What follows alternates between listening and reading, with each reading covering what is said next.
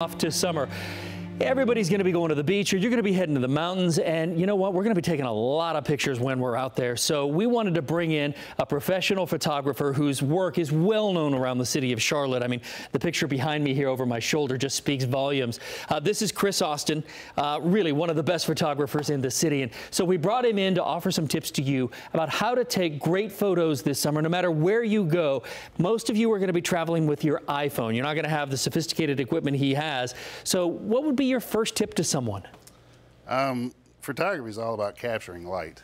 So building your scene, um, an ideal scene in that regard is key. The worst possible light source in the world, in the universe, is the sun. So keep right. it keep it out of the way in all regards. Keep it out of your scene. Keep it off your folks, off your people that you're shooting. It creates uh, really harsh light and dark shadows. Yeah. So, on a bright sunny day, move your folks into the shade. Them move them into the shade and, and shoot. Always shoot with the sun at your back. If you have to be in the sun, yeah, it's better to have them behind the photographer, illuminating your subjects. Yeah. And behind you. Explain to people what the golden hour is. That is the hour around sunrise and sunset, um, where you get all awesome colors in the sky. Yeah, I mean, if you the harsh sun is yeah, gone. Well, look look at that. You can tell that the picture there on the screen was taken, you know, not with the sun directly overhead at high noon.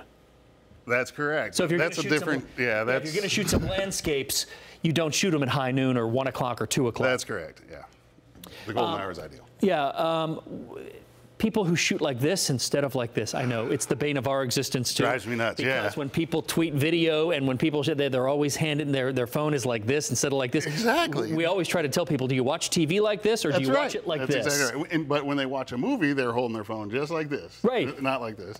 They lose a lot of resolution. You know, if we're talking 1920 by 1080, right. we have all just taken their cool 1920 video and crammed it into our 19 or 1080 display. So yeah. they essentially cut the resolution. Well, it's not to say that taking a picture like this, if this is what you want to do, like That's the right. Washington Monument, something exactly. like that, a tall something building, that offers something very tall, or even a, a portrait of one person. Yeah.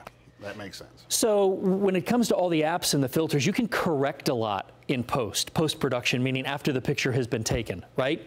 Yes, not necessarily here though, but uh, I can speak on that for hours. But right. Um, with raw files, you have a lot of latitude to, to correct a lot. But most people don't shoot in raw; they exactly just right. they just, just point and shoot. Yeah, exactly. Right. Okay. So manage light. That's the, probably That's the biggest the tip. I think so.